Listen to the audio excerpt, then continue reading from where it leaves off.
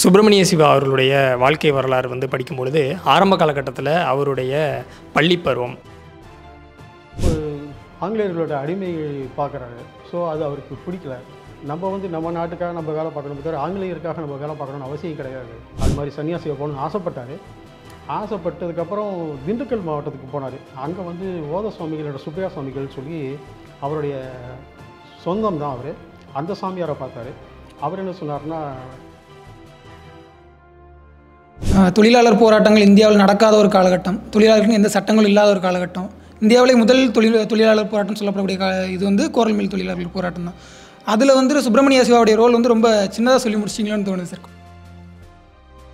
இந்திய விடுதலையை வந்து இளைஞர்களால் தான் பெற்றுத்தர முடியும். வயதானவர்களை வச்சு இந்திய விடுதலையை வாங்க முடியாதுன்ட்டு.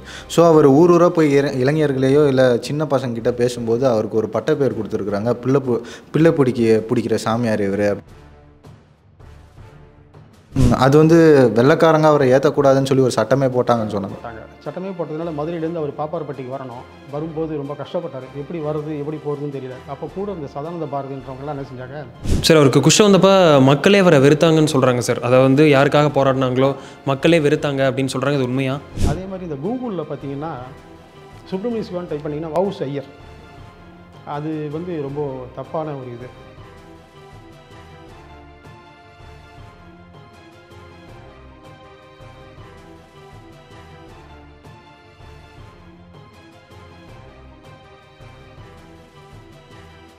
உலக தமிழ் சொந்தங்களுக்கு வணக்கம். நான் ராஜவேல் நாகராஜன். பேசு தமிழா பேசு வலையொலியுடைய வளர்ச்சிக்கு நீங்களும் உறுதுணையாக இருக்கணும்னு நினச்சிங்கன்னா இந்த வீடியோடைய டிஸ்கிரிப்ஷனில் இருக்கக்கூடிய ரேசர் பே லிங்கை கிளிக் பண்ணுங்கள் அந்த லிங்க்கில் போயிட்டு உங்களுக்கு விருப்பமான தொகையை பேசு தமிழா பேசுவனுடைய வளர்ச்சிக்கு உங்களுடைய பங்களிப்பாக நீங்கள் கொடுக்கலாம். நன்றி. வணக்கம். பேசு தமிழா பேசு நேயர்களுக்கு வணக்கம். இன்றைக்கி நம்ம கூட உரையாடுறதுக்காக நம்மளுடைய அரங்குக்கு விடுதலை போராட்ட வீரர் சுப்பிரமணிய சிவா அவர்களுடைய தம்பியின் பேரன் திரு கல்யாணராமன் அவர்கள் இருக்கிறாங்க. அவங்க கூட தான் பேச போகிறோம் வணக்கம் சார். வணக்கம். வணக்கம். சுப்பிரமணிய சிவா அவர்களுடைய வாழ்க்கை வரலாறு வந்து படிக்கும் பொழுது ஆரம்ப காலகட்டத்தில் அவருடைய பள்ளி பருவம் அப்போவே வந்து அவருடைய ஊரில் வந்து பள்ளி படிப்பை தொடர முடியாமல் வறுமையின் காரணமாக வெவ்வேறு ஊர்களில் படிக்க வேண்டிய காலகட்டம் அவருக்கு இருந்திருக்கு. அது எவ்வளோ கடினமானதாக அவருக்கு இருந்திருக்கு அப்படிங்கிற பற்றி சொல்லுங்கள் சார். அவங்க வீட்டில் முதல் பையன் இவர் தான் சுப்பிரமணிய சிவா. இவரோட கூட பிறந்தவங்க ஒரு தம்பி ரெண்டு சிஸ்டர்ஸு தம்பி தான் வைத்தியநாத சர்மா அவருடைய பேரன் தான் நான். பட் இவர் படிக்கிறதுக்காக என்ன செஞ்சாருன்னா ஆரம்ப காலகட்டத்தில் திருவனந்தபுரம் போயிட்டாங்க. திருவனந்தபுரத்தில் சாப்பாடு முதற்கொண்டு அவங்களுக்கு கஷ்டம். அதனால் ஊட்டுப்புறைன்னு சொல்லி சொல்லுவாங்க. அங்கே தான் அவங்களாம் சாப்பாடு வாங்கி சாப்பிட்டுட்டு காலம் தள்ளிட்டு அங்கேயே படிச்சுட்டு இருந்தார். கொஞ்சம் படித்து ஒரு அஞ்சாவது ஆறாவது படிக்கும்போது அதுக்கப்புறம் மதுரைக்கு ஷிஃப்ட் ஆனாங்க. மதுரையில் ஷிஃப்ட் ஆகிட்டு மதுரையில் உள்ள சேதுபதி உயர்நிலைப்பள்ளியிலலாம் படிச்சிருக்காரு. அதுக்கப்புறம் அவர் கொஞ்சம் அதிகமாக படிக்கணும் அப்படின்றதுக்காக கோயம்புத்தூர் மைக்கேல் காலேஜில் போய் ஜாயின் பண்ணி ஒரு அந்த காலத்தில் பியூசி மாதிரி ஒரு படிப்பை படித்து முடித்தார் முடிச்சதுக்கப்புறம் அவருக்கு படிப்பில் நாட்டம் கிடையாது. ஸோ அது வரையும் அங்கே படித்தார் அதுக்கப்புறம் படிப்பு எல்லாம் முடிச்சு முடிஞ்சளவு எவ்வளோ படிக்க முடியுமோ அவ்வளோ படிச்சுட்டு காவல்துறையிலலாம் வந்து அவருக்கு வேலை கிடச்சிருக்கு. தூத்துக்குடி மாவட்டத்தில் வந்து காவல் நிலையத்தில் உதவியாளராக வேலை செஞ்சார் அப்படிங்கிற மாதிரிலாம் வருது. சில இடங்களில் வந்து அவர் சப் இன்ஸ்பெக்டராக ஒர்க் பண்ணார் அப்படிங்கிற மாதிரிலாம் சொல்கிறாங்க காவல்துறையில் வேலை எப்படி கிடச்சிது சார்? என்னவா வேலை செஞ்சது இல்லை அது தவறான விஷயம். அவருக்கு சிவகாசியில் தான் அப்பாயின்மெண்ட் கிடச்சிது. சிவகாசியில் போலீஸ் துறையில் ஜாயின் பண்ணார். அவருடைய நெருங்கிய வட்டாரங்கள் அவங்களுடைய சிபாரிசின் மூலியமாக தான் கிடச்சது அப்போது வேலைக்கு போனார்.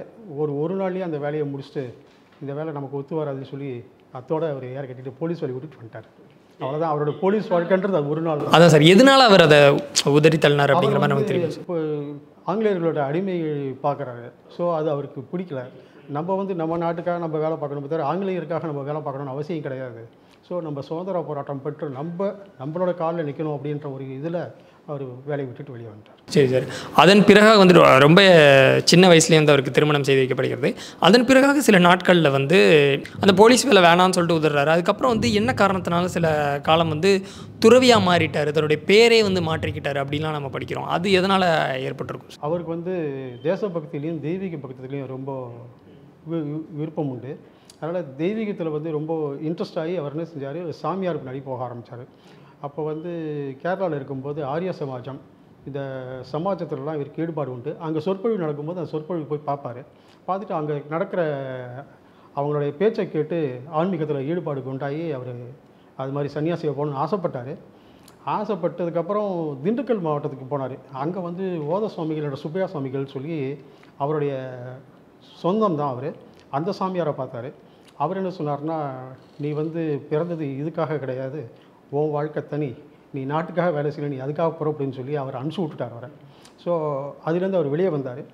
இருந்தாலும் கடைசி காலத்தில் அவர் ஆயிரத்தி தொள்ளாயிரத்தி இருபத்தி ஒன்றில் இறந்து போனது வந்து இருபத்தஞ்சு.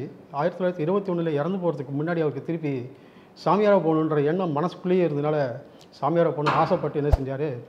அவருடைய ட்ரெஸ் எல்லாம் மாற்றிட்டார் மாற்றிக்கிட்டு நேராக நான் சாமியாரை போகிறேன்னு அவரோட தம்பிக்கிட்ட தான் சொன்னார். அவர் தம்பி என்ன செஞ்சார்? அதுக்காக அவருக்கு வந்து பேரையே வச்சார். சுதந்திரானந்தா அப்படின்னு சொல்லி அவருக்கு பேரை வச்சு அண்ணனுக்கு வழி அனுப்பி வச்சார். சாமியாரை போகட்டும் பரவாயில்ல அப்படின்னு சொல்லி. திருமணம் நடந்தது உண்மை. ஆனால் மகளோ மகனோ இல்லை. அது மட்டும் இல்லாமல் அவருக்கு ஒரு திருமண வாழ்வு அந்த ஒரு குடும்ப வாழ்வு மனைவி பிள்ளை அப்படிங்கிற வாழ்க்கையே ஏற்படாமல் போனதுக்கான காரணம் என்ன சார்? அரசியல் தான். அரசியலில் அவர் வந்து அவரோட குறிக்கோள் மெயினாக வந்து சுதந்திரம் பெறணும். நாட்டை வந்து ஒரு பாரத மாதாக்காக நம்ம எல்லாமே பண்ணணும்.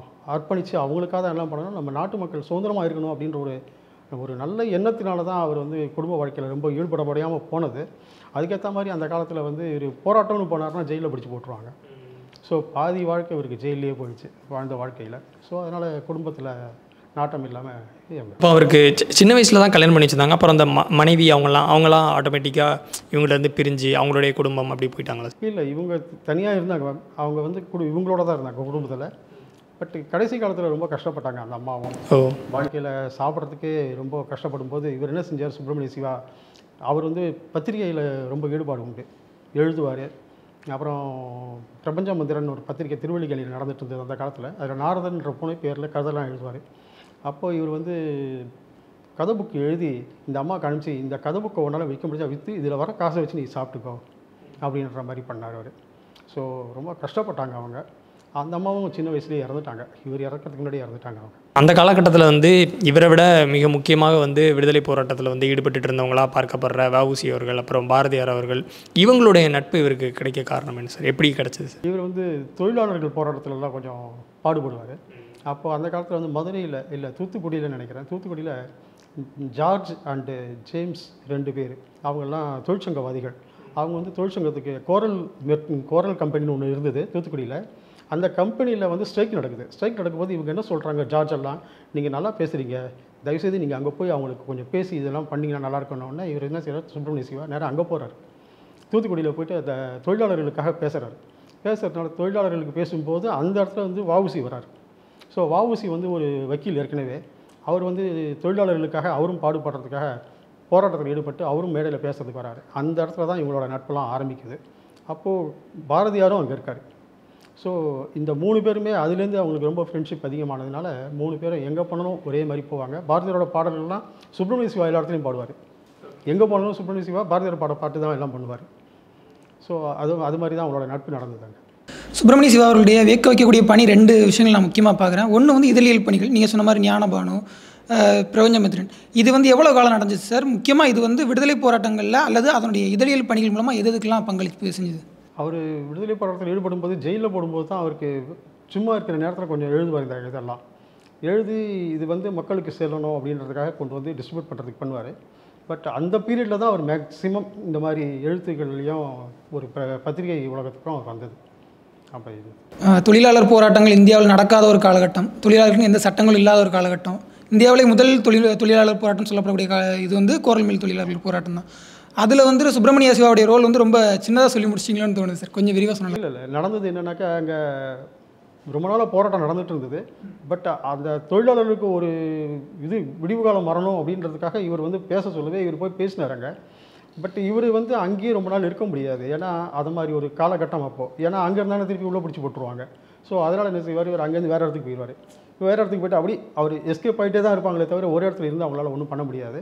ஆனால் போகிற எல்லா இடத்துலையுமே நாட்டுப்பற்றுக்காக தான் மேக்ஸிமம் அவர் பண்ணார். பட் அந்த நீங்கள் சொன்ன மாதிரி அந்த தொழிலாளர்கள் போராட்டம்ன்றது இந்தியாவில் நடந்தது முதல்ல முதல்ல அதுதான். கோரல் மெர்ச்சன்ட்டுக்காக நடந்தது.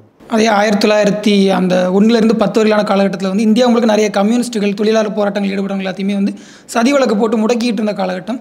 சுப்பிரமணிய சிவா அவர்கள் மேலே ஒரு சதி வழக்கு போடப்பட்டதுன்னு நினைக்கிறேன். ராஜதுரோக வழக்கு. போடப்பட்டது. போடப்பட்டதுனால அவர் ஜெயிலில் பிடிச்சி ஒரு எட்டு ஆண்டு காலங்கள் சிறை தண்டனை கொடுத்தாங்க. யாரோட வவுசியோடைய வாவசியோட வாவுசிக்கு வேற ஒரு ஜெயில் போட்டாங்க இவர் வேற ஒரு ஜெயிலில் போட்டாங்க அந்த ஜெயிலில் தான் வந்து அந்த நீங்கள் சொன்ன மாதிரி தொழுநோயால் வந்து தொழில் வந்ததுக்கு மேஜர் அந்த இது மட்டும் இல்லை அது மாதிரி நிறைய இடத்துல அவர் ஜெயிலில் இருந்தார். ஸோ எங்கெங்கே ஜெயிலில் அவர் போகும்போதெல்லாம் மேக்ஸிமம் இது மாதிரி ஒழுக்கம் கொடுப்பாங்கன்னு நான் சொல்லி கேள்விப்பட்டது. பட் அதனால் வந்தது தான் அவருக்கு. சுப்பிரமணிய சிவா அவர்களுடைய மொத்த ஆயுட்காலம் எவ்வளவு? இவர் எத்தனை வருஷங்கள் வாழ்ந்தார்? அவர் நாற்பத்தி ஒரு வருஷங்கள் தான் இருந்தார். நாற்பத்தி ஓராவது வயதில் காலமாயிட்டார் அவர். அவருடைய இறப்புக்கு அப்புறமா அது அவருடைய அந்த மொத்த வாழ்க்கை வரலாறு எப்படி முழுமையாக எழுதப்பட்டிருக்கா சார்? அப்படி ஒன்றும் முழுமையாக எழுதப்பட்டதா தெரியல சார் எனக்கு. அவருடைய வாழ்க்கையில் முக்கியமான ஆவணம் இதுதான் அப்படின்னு சொல்கிற சொல்லப்படுற ஆவணம் ஏதாவது? ஏன்? எங்ககிட்ட இருக்குது அவர் எழுதி கைப்பட எழுதின கடிதங்கள் இருக்குது எங்கிட்ட நான் பத்திரமா வச்சுருக்கேன் அதை. அதே மாதிரி அவர் வந்து பாரத மாதாக்கு கோவில் கட்டணும்னு சொல்லி கடைசி காலத்தில் பாப்பாரப்பட்டியில் தான் போய் செட்டில் ஆனார். தர்மபுரி. தருமபுரி மாவட்டம் பாப்பாரப்பட்டியில். அங்கே வந்து பாரத மாதாக்கு கோவில் கட்டணும்னு சொல்லி Chittaranjan Das. C R Das Chittaranjan Das. அவரை கூட்டிகிட்டு வந்து ஒரு அடிக்கல் நாட்டினார் அங்கே. அடிக்கல்ல அவரோட பேரை பொறிச்சு இவரோட பேர்லாம் போட்டு இந்த இடத்துல கோவில் கட்டணும் அப்படின்னு சொல்லி அந்த கல்வெட்டு இருக்குது அது இன்றைக்கும் அந்த இடத்துல கல்வெட்டு இருக்குது வச்சுருக்காங்க. அவருக்கு வந்து ரொம்ப உதவி பண்ணது அந்த காலத்தில் வந்து மதுரை சித்தானந்த பாரதின்னு ஒருத்தர். அப்புறம் வந்து பச்சைமுத்து முதலியார் தருமபுரி மாவட்டம். இவங்க ரெண்டு பேரும் ரொம்ப ஹெல்ப் பண்ணியிருக்காங்க அவருக்கு. அவங்கள மூலியமாக அந்த நேரத்தில் பாரத மாதா கோவில் கட்டணும்னு சொல்லி கலெக்ஷன் பண்ணுறதுக்காக பப்ளிக் கிட்ட தான் ஃபண்டு ரைஸ் பண்ணாங்க. அந்த ரைஸ் பண்ண காசுக்கு ஒரு ஆறு ஏக்கர் சொச்சம் ஒரு முப்பத்தி ஒரு சென்டோனமோ என்னமோ அப்பாப்பார்பட்டியில் வாங்கி கோவில் கட்டுறதுக்காக பண்ணார். அதில் தான் இப்போது வந்து மணிமண்டபம் கட்டியிருக்காங்க. அவருக்கு ஏற்கனவே நினைவு இதெல்லாம் இருக்காங்க ஸ்தூபிலாம் வச்சு இருந்தது. பட் பாரத மாதாக்கு கோவில் கட்டணுன்றதை வந்து அதிமுக பீரியடில் கட்டினாங்க. பட் இப்போ இந்த திமுக ஆட்சி வந்தோடனே திறந்தாங்க.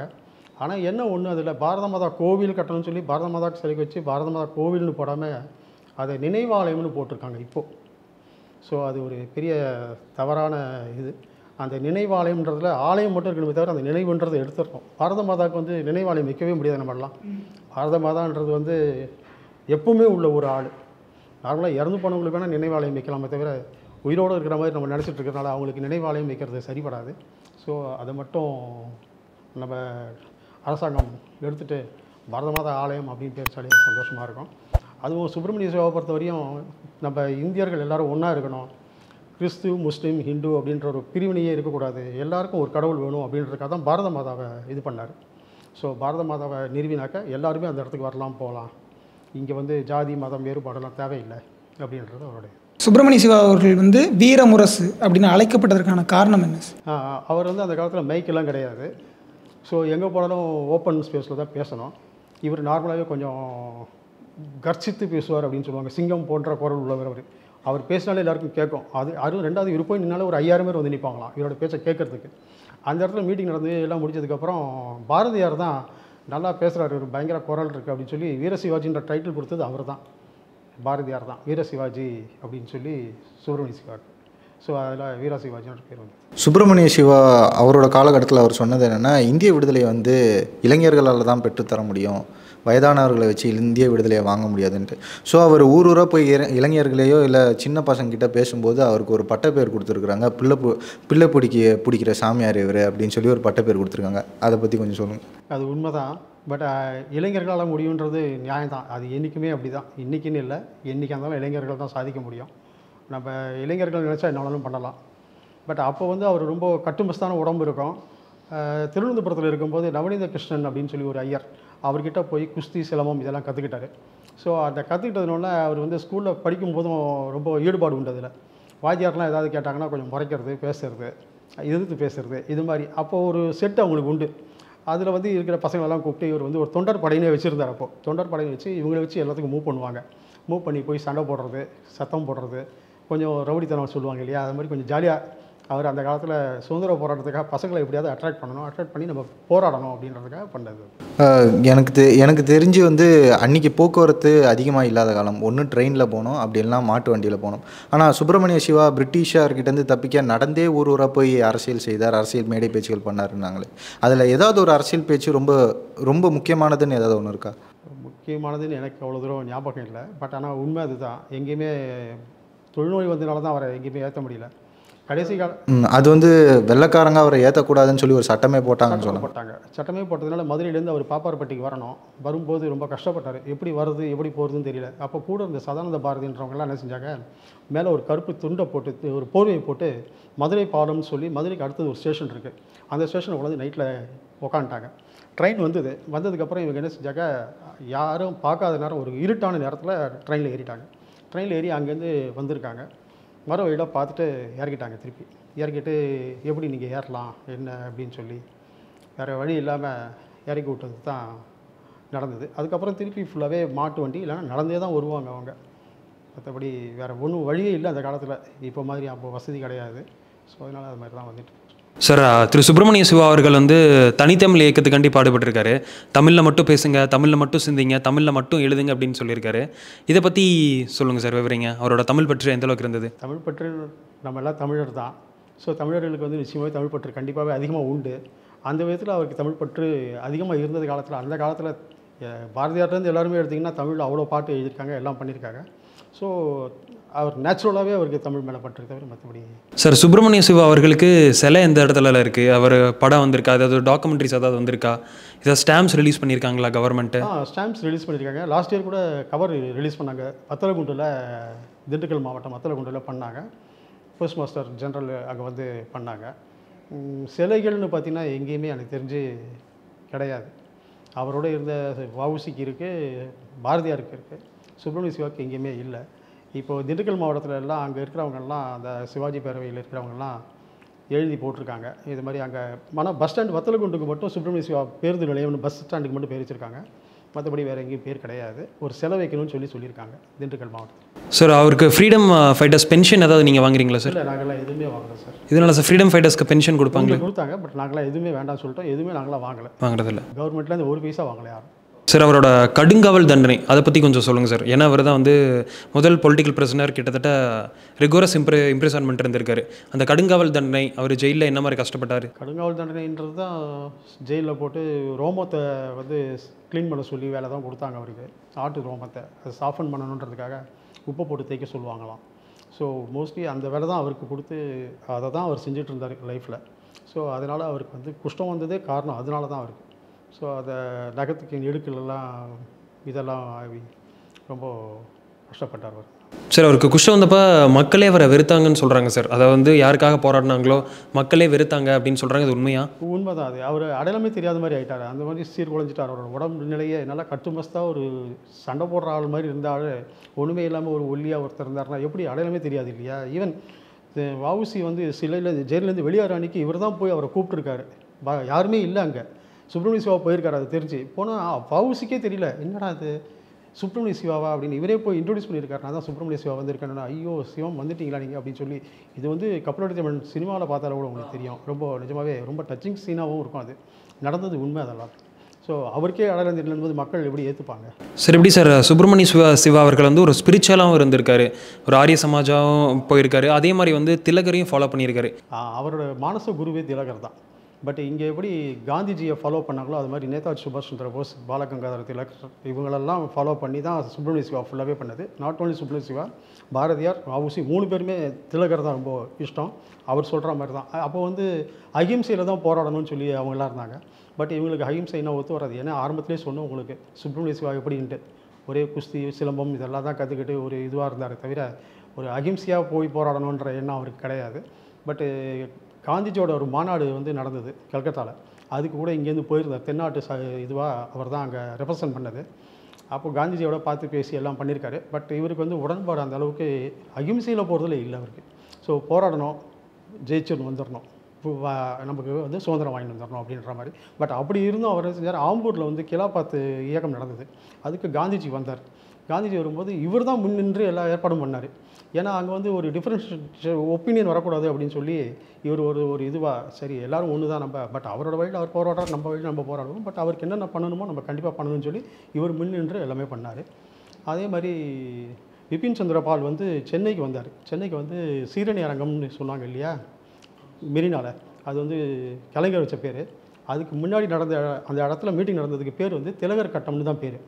அந்த திலகர் கட்டம்ன்ற பேர் வச்சது சுப்பிரமணிய சிவா தான். அவங்க அந்த காலத்தில் வந்து ஒரு மீட்டிங் போட்டு அந்த மீட்டிங்கில் வந்து விபின் சந்திரபால்லாம் பேசணும் அப்படின்னு சொல்லி கூப்பிட்டு வந்து அவங்கள பேச வச்சாங்க சுதந்திரத்துக்காக. ஸோ அந்த இடம் வந்து திலகர் கட்டம்ன்ற பேர் இல்லாமல் போச்சு. அதுக்கப்புறம் ஸ்ரீரணிரங்கன்ற பேர் வந்தது. பட் ஆனால் அது கல்வெட்டு இருக்குது அந்த கல்வெட்டு இப்போ வந்து அந்த மாநில கல்லூரிக்கு எதிர்க்க வச்சு இது பண்ணியிருக்காங்க சார் திரு சுப்பிரமணிய சிவா அவர்களை பற்றி படிக்கணும்னு ஏதாவது புத்தகம் இருக்கா? புத்தகம் யாராவது எழுதியிருக்காங்களா? அவரோட ஆட்டோபயோகிராஃபி எல்லாம்? இருக்குது சார் இந்த ரகமின்னு சொல்லி ஒருத்தர் இருந்தார். அவர் புக் எழுதியிருக்காரு. இப்போ கூட நரசிம்மன் சொல்லி அவரும் சுப்பிரமணிய சிவா பற்றிலாம் எழுதியிருக்காரு. ஸோ புக் இருக்குது அவரை பற்றி நிறைய. சார் நீங்கள் ஏதாவது கவர்மெண்ட்டிட்ட ஏதாவது கோரிக்கை வைக்கணும்னா சுப்பிரமணிய சிவா அவர்களை பற்றி ஏதாவது அவருக்கு சம்மந்தமானது ஏதாவது கோரிக்கை வைக்கணும்னா என்ன சார் என்ன சொல்லுவீங்க? ஒரு செலவு வச்சா நல்லாயிருக்கும். ரெண்டாவது திண்டுக்கல் மாவட்டத்துக்கு வந்து மெயினாக அந்த வத்தலகுண்டில் தான் இருந்தார். கடைசி காலத்தில் கொஞ்சம் அங்கே அவர் இருந்த வீடெல்லாம் இருக்குது பட் அதெல்லாம் இப்போ ஒன்றும் பண்ண முடியாதுன்னு அந்த அளவுக்கு ஆயிடுச்சு. பட் அது பண்ணாட்டாலும் பரவாயில்ல. அட்லீஸ்ட் திண்டுக்கல் மாவட்டத்தில் திண்டுக்கல் ரயில்வே ஸ்டேஷன்லேயாவது ஒரு செலவு வைக்கலாம் அவருக்கு. வச்சாங்கன்னா நல்லாயிருக்கும். சார் அவருக்கு சுப்பிரமணிய சிவா அவர்களுக்கு ஏதாவது வீடு இருந்ததா? அது நினைவு சின்னமாக இருக்கா இப்போ? இல்லை சார் அவருக்கு வீடெல்லாம் இல்லை சார். ஒன்றும் இல்லை நினைவு சின்னம். அது பாப்பாரப்பட்டியில் வச்சு அவரே கஷ்டப்பட்டு அவரே எல்லாம் பண்ணது தான் அவருக்காக அந்த காலத்தில் அவருக்கே தெரிஞ்சு போச்சு. யாரும் பின்னாடி பண்ண மாட்டாங்க. நம்மளே பண்ணிக்கணும்னு சொல்லி அவரே பண்ணிட்டாருன்னு நினைக்கிறேன். பாரத மாதா கோவில் கட்டிட்டு அங்கேயே அவருக்கு சமாதியை பண்ணாங்க. அதுலேயே ஒரு ஸ்தூபி வச்சுருக்காங்க. ஒரு சிவலிங்கத்தை வச்சு அங்கே பூஜை பண்ணுறாங்க மற்றபடி ஒன்றும் சார் சுப்பிரமணிய சிவா அவர்கள் வந்து வார இதழும் நடத்தியிருக்கிறாரு மாத இதழும் நடத்தியிருக்கிறாரு. இப்போது அதுக்கான வந்து பொருளாதார பின்னணி ஒன்று தேவைப்படும். அந்த டைமில் வந்து நிறைய அடை அடக்குமுறைகள்லாம் இருந்துச்சு. அது எல்லாத்தையும் அவர் எப்படி சார் கொஞ்சம் இது பண்ணிட்டு இருந்தார்? அந்த அப்டக்கிள்ஸ் எல்லாம் அவர் எப்படி சரி பண்ணார்? எல்லாம் அவங்க கூட இந்த சுதந்திர போராட்ட வீரர்களோட சப்போர்ட்டில் தான் அவர் எல்லாமே பண்ணது. பட்டு அவர் இருந்தது திருவள்ளிக்கேணியில் இருசப்ப முதலி தெருவில் இருந்து அங்கேருந்து பண்ணியிருக்காரு கொஞ்ச நாளைக்கு. அதுக்கப்புறம் மயிலாப்பூரில் ஷிஃப்ட் ஆகியிருக்காங்க அங்கேருந்து கொஞ்ச நாளைக்கு இந்த எழுதுகிற வேலையெல்லாம் எழுதி அதை வந்து பிரிண்ட் பண்ணி பண்ணியிருக்காங்க. பட் எல்லாம் அவங்களோட ஹெல்ப் தான். அந்த பச்சைமுத்து முதலியாருன்னு சொன்னேன் இல்லையா? அவர் ரொம்ப ஹெல்ப் பண்ணியிருக்கார். சுப்பிரமணிய சிவாவோட இதுக்கு ரொம்ப அவர் கஷ்டப்பட்ட சில நேரத்துலையும் சரி அவர் நல்லா இருந்த நேரத்துலையும் ஃபுல் அண்ட் ஃபுல் ஹெல்ப் பண்ணதெல்லாம் பச்சைமுத்து முதலியார் தான். அதே மாதிரி இந்த மணிமண்டபம் கட்டினாங்க இல்லையா பாப்பாரப்பட்டியில்? அந்த மணிமண்டபம் கட்டணும்னு சொல்லி குமரி ஆனந்தன் ரொம்ப பாடுபட்டார். அவர் இந்த நேரத்தில் நான் நன்றி தெரிவிக்கணும் அவருக்கு கண்டிப்பாகவே அவர் வந்து தனி ஒரு ஆளாக பாப்பாரப்பட்டியில் எப்படியாவது அவரோட கனவை நம்ம நினைவாக்கணும். அந்த பாரத மாதாக்கு கோவில் கட்டணும்னு சொல்லி இங்கேருந்து நடைப்பயணம் உண்ணாவிரதம் எல்லாமே இருந்து ரொம்ப பண்ணியிருக்கார் அவர்.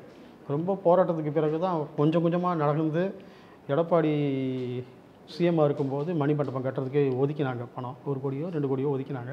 அதை வச்சு இப்போ முடிச்சிட்டாங்க கம்ப்ளீட் பண்ணிட்டாங்க. இப்போ இவங்க ஆட்சியில் வந்து திறந்துட்டாங்க. பட் என்ன ஒன்று இந்த நினைவாலயம்ன்ற பேர் வச்சுட்டாங்க. பட் அப்போ கூட அவர் கான்டாக்ட் பண்ணார். உடம்பு சரியில்லாமல் இருக்கார். குமரிநந்தன் அப்போ என்னை கான்டாக்ட் பண்ணி சொன்னார் இது மாதிரி பண்ணியிருக்காங்கப்பா ஃபண்டெல்லாம் அலோகேட் பண்ணிட்டாங்க. போருமா? அப்படின்னு கேட்டார். நான் அதுக்கு சொன்னேன் ஒரு கோடி ரூபான்றது பெரிய விஷயம் தான் சார். இவங்க பண்ணுறது அதாவது பண்ணாங்களே சார். அதை வந்து நீங்கள் ஏதாவது நம்ம போய் சொன்னோம்னா ஒன்றும் இல்லாமல் பண்ணிவிடுவாங்க நடக்கிறது நடக்கட்டும் சார் அப்படின்னு சொன்னேன் நான். அப்புறம் நான் என்னுடைய ஐடியா என்னென்னு சொன்னேன்னா உள்ளே வந்து தியாகிகளோட உருவ சிலையெல்லாம் வச்சா நல்லாயிருக்கும் அந்த பாரத மாதா கோவில்லையே. நம்ம சிவன் சிலை முருகன் சிலை அது இதெல்லாம் கோவிலில் வைக்கிற மாதிரி அந்த ஒரு கோவில்ன்ற மாதிரி அது எல்லாருடைய சிலையுமே. தியாகிகள் யார் யார் இருந்தாங்களோ எல்லாம் அவங்களோட சிலையெல்லாம் கொஞ்சம் வச்சு இது பண்ணால் நல்லாயிருக்கும் பட் அது இப்போ திறக்கிறதே கிடையாது ஆனால் திறந்ததோடு சரி அவங்க இப்போ எப்பவும் பூட்டியே வச்சுருக்காங்க. நம்ம போய் பார்க்கணுன்னோட கொஞ்சம் கஷ்டம் தான் அது. அது எப்பவும் திறந்து மக்கள் வந்து பார்த்துட்டு போகிற மாதிரி வச்சாங்கன்னா கவர்மெண்ட்டுக்கு தான் கோரிக்கை. வந்து திறந்து வச்சு ஒரு ஆளை போட்டாங்கன்னா ஒரு லீவ் நாள்லையோ இல்லைனாக்கா ஒரு இந்த கோட்டையிலையோ ஆஃப் லீவ் லீவ்லாம் பசங்கள்லாம் போகும். அப்போ தான் பசங்களுக்கு பார்த்தா என்னன்றது தெரியும். இப்போ நார்மலாகவே சுப்பிரமணிய சிவான்றது ஒரு எங்கர் ஜென்ரேஷன்ஸில் கேட்டால் தெரிய மாட்டேன்றது. அது நார்மலாக பேர் அப்படின்னு வச்சுக்கிறாங்களே தவிர அது யார் என்ன ஏது அப்படின்றது காந்தி நேருக்கு சொல்கிற மாதிரி இருக்கலாம். தெரியல. சிதம்பரம்னா வவுசின்னு சொன்னால் தான் தெரியும். சிதம்பரம்னு சொன்னால் தெரியாது.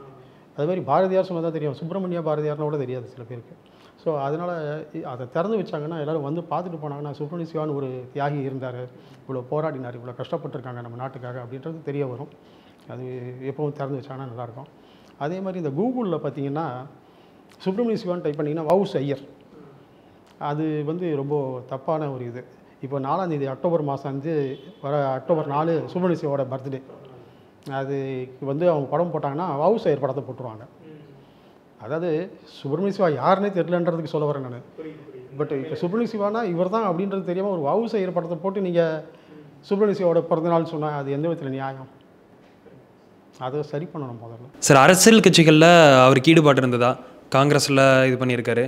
அப்படிலாம் ஒன்றும் கிடையாது சார். அந்த காலத்தில் காங்கிரஸ் ஒன்று தான் சார். அந்த காங்கிரஸில் எல்லாருமே இருப்பாங்க அவ்வளோதான் அப்போல்லாம் இந்த மாதிரி பிரிவுலாம் கிடையாது. ஸோ அதனால் அந்த காங்கிரஸில் தான் இருந்தார் அவர். மற்றபடி வேறு எதுவும் தனியாக இல்லை. அப்போல்லாம் தனி கட்சி கிடையாது. சார் அதே மாதிரி வந்து அவருக்கு வந்து திருக்குறள் மேலே அதிகமான ஒரு பற்று இருந்திருக்கு. அதை பற்றி கொஞ்சம் சொல்லுங்கள் சார். ஏன்னா திருக்குறளை ஒப்பிக்கிறவங்களுக்கு அஞ்சு ரூபாய் தர்றேன் அப்படின்னு கூட சொன்ன மாதிரி கேள்விப்பட்டிருக்கோம். தமிழ் பற்று அதிகமாக வேணும் அப்படின்றதுக்காக அந்த காலத்தில் அவர் வந்து திருக்குறள் போட்டிலாம் வச்சார். அப்போ அஞ்சு ரூபான்றது ஒரு பெரிய விஷயம். இப்போ இருக்கிற ஒரு அஞ்சு லட்ச ரூபாய்க்கு ஈக்குவல் கூட சொல்லியிருக்கலாம். அதுவும் அது அஞ்சு ரூபாய்க்காக எத்தனை பேர் எவ்வளோ ப- படிக்கிறாங்க? தமிழ் மேலே ஆசை இருக்குது திருக்குறள் மேலே எவ்வளோ ஆசை இருக்குது திருக்குறள் வந்து ஒப்பிக்கிறாங்களா பார்க்கலாம் அப்படின்றதுக்காக அந்த அஞ்சு ரூபா பரிசு போட்டி ஒன்று வச்சார் அது அது நடந்தது. தமிழோட பற்றுனால தான் அவ்வளோ தூரம் அவர் பண்ணுது. சார் பிஜேபி கவர்மெண்ட் வந்து நேஷனல் ஹீரோஸ் எல்லாம் வந்து எடுத்து வந்து பேசுகிறாங்க சுப்பிரமணிய சிவா அவர்களுக்கு வந்து பேசுகிறாங்களா யாராவது உங்களை தொடர்பு கொண்டு கேட்டாங்களா? பிஜேபி கவர்மெண்ட்டில் பண்ணுறாங்க இப்போ இந்த எழுபத்தஞ்சாவது சுதந்திர விழா கொண்டாடணும் அப்படின்றதுக்காக பண்ணுறாங்க அதனால தான் இப்போ பண்ணது. இந்த சேலத்தில் பண்ணாங்க. இந்து மக்கள் கட்சி பண்ணாங்க. அதே மாதிரி இந்து முன்னணி கட்சி பண்ணாங்க. எல்லோரும் பண்ணுறாங்க பட் என்னென்னா இவங்கெல்லாம் இந்த எழுபத்தஞ்சாவது வருஷம் இதை கொண்டாடுறோம் அப்படின்றதுக்காக மட்டும் பண்ணிட்டு அதுக்கப்புறம் மறந்துடக்கூடாது இல்லையா? இது எப்போவுமே எவ்ரி இயர் எங்களுக்காகன்னு இல்லை. இப்போ எங்களெல்லாம் ஓரளவுக்கு தெரியும். நிறைய பேருக்கு சுப்பிரமணிய சிவானா தெரியும். தெரியாத நிறைய தியாகிகள் இருக்காங்க. அவங்களெல்லாம் கொஞ்சம் கொண்டு வந்தால் தான் நல்லாயிருக்கும் இந்த கவர்மெண்ட்லாம் கூட. ஏன்னா அவங்கள தான் கொண்டு வரணும். தெரிஞ்சவங்களை எஸ்டாப்ளிஷ் பண்ணுறது ஒரு பெரிய விஷயமே கிடையாது. தெரியாதவங்களை எஸ்டாப்ளிஷ் பண்ணுறது தான் ஒரு பெரிய விஷயமே. அதை பண்ணணும். அதுக்கு நீங்களாம் ரொம்ப சப்போர்ட்டிவாக தெரியாத உறவுக்கே தெரியாத ஒரு ஆள் இருப்பார். அவரை கொண்டு வந்து நீங்கள் காமிச்சிங்கன்னா ரொம்ப நல்லாயிருக்கும். அவங்களுக்கும் சந்தோஷமாக இருக்கும். இப்போது இந்த இதுக்கு போகணும் சே- சேலத்துக்கு. வீரபாண்டிய கட்டபொம்மனோட ஐந்தாவது தலைமுறை ஒருத்தர் வந்தார். அவர் வந்தாக்க வீரபாண்டிய கட்டபொம்மன் மாதிரி வந்தார். பட் ஆனால் ரொம்ப பாவமாக இருக்கார். சாப்பாடுக்கே கஷ்டப்படுறாங்க வருத்தமாக இருந்தது எனக்கெல்லாம் கேட்குறதுக்கு. என்ன பண்ணுறது அப்படின்னு சொல்லி அங்கே ஒருத்தர் இருக்கார் சேலத்தில் பெரியசாமின்னு சொல்லி. அவர் சொன்னார் சார் ஒரு ஃபண்டு ஒன்று ரெடி பண்ணலாம் சார் அவருக்கு. மாதம் ஏதாவது பண்ணுறதுக்கு அப்படின்னார். நான் சொன்னேன் சும்மா நம்ம இப்போ ஒரு ஐயாயிரரூவா கொடுக்குறது பெருசு கிடையாது கொடுத்துட்டு போயிடுவோம் பட் மாதம் மாதம் அவருக்கு ஏதாவது ஒரு வருமானம் வர மாதிரி பண்ணணும். அதுக்கு ஒரு ஃபண்டு ஒன்று ரைஸ் பண்ணி அந்த ஃபண்டை வந்து ஃபிக்ஸட் டிபாசிட்டில் போட்டு மாதம் அவருக்கு ஏதாவது ஒரு மாதிரி பண்ணால் நல்லாயிருக்கும் அப்படின்னு பண்ணலாம் சார் அப்படின்னாரு. ஸோ அதை மாதிரி கஷ்டப்படுறவங்க இருக்காங்க. வீரப்பாண்டி கட்டபொம்மன் எவ்வளோ பெரிய ஆள். அவருடைய பரம்பரையை இப்ப கஷ்டப்படுறதுன்னும் போது ரொம்ப வருத்தமாக இருக்குது சுதந்திரம் பெற்றது எதுக்காகனே தெரியல நமக்கு. எல்லோரும் கஷ்டப்படுறதுக்கு அப்போ வாங்கினோம். கிடையாது இல்லை. எல்லோரும் நல்லா இருக்கணும்ன்ட்டு. பட்டு இருக்காங்க. அது கொஞ்சம் பண்ணால் நல்லாயிருக்கும் அவங்களுக்குலாம் சார் எங்களோட இணைந்து பல்வேறு கருத்துக்களை பகிர்ந்தமைக்கே நன்றி சார். ரொம்ப நன்றி. உங்கள் அனைவருக்கும் நன்றி. நன்றி. உலக தமிழ் சொந்தங்களுக்கு வணக்கம். நான் ராஜவேல் நாகராஜன். பேசு தமிழா பேசு வலையொலியுடைய வளர்ச்சிக்கு நீங்களும் உறுதுணையாக இருக்கணும்னு நினச்சிங்கன்னா இந்த வீடியோடைய டிஸ்கிரிப்ஷனில் இருக்கக்கூடிய ரேசர் பே லிங்கை கிளிக் பண்ணுங்கள் அந்த லிங்க்கில் போயிட்டு உங்களுக்கு விருப்பமான தொகையை பேசு தமிழா பேசுவனுடைய வளர்ச்சிக்கு உங்களுடைய பங்களிப்பாக நீங்கள் கொடுக்கலாம். நன்றி. வணக்கம்.